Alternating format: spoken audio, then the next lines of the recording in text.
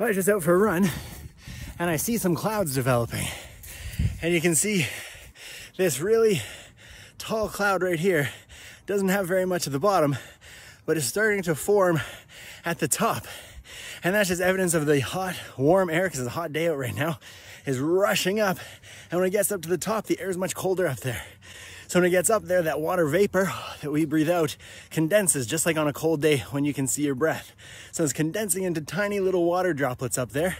And if those start to form bigger and bigger, we're gonna get a little bit of rain. And the other thing with that type of cloud is as it rushes up, the new air that's rising up, rising up over here, uh, there is going to crash in to those water droplets and create friction, just like uh, your hair on a balloon. When that creates friction, it's going to develop some charge. So the top end is going to become positive, and the bottom end here is going to be left negative with those electrons. So when we see this type of cloud, you know there's a good indication there could be a thunderstorm coming.